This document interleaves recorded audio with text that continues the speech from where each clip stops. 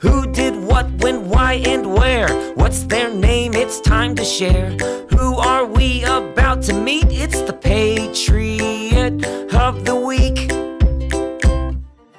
Hercules Mulligan was an early American tailor and a spy for the Continental Army during the Revolutionary War.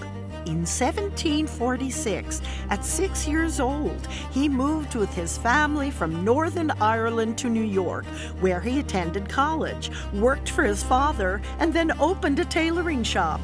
He was an early member of the Sons of Liberty and the New York Committee of Correspondence. He also let a young student named Alexander Hamilton lodge with him while attending college. Mulligan was influential in convincing Hamilton to support independence. After the Revolutionary War broke out in 1775, Mulligan was forced to stay in British controlled New York after Washington's retreat at Long Island. Washington needed someone to send him intelligence from inside New York, and Alexander Hamilton, now serving as Washington's aide de camp, recommended Mulligan. Mulligan worked together with his slave, Cato, to send Washington the information they learned from the British, who came to have their uniforms repaired. Twice, their information saved Washington's life.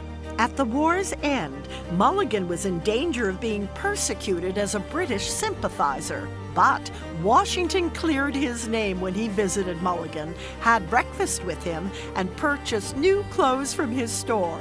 Mulligan put up a sign outside his store that read, Clothier to General Washington. Mulligan went on to have a long and successful career as a tailor.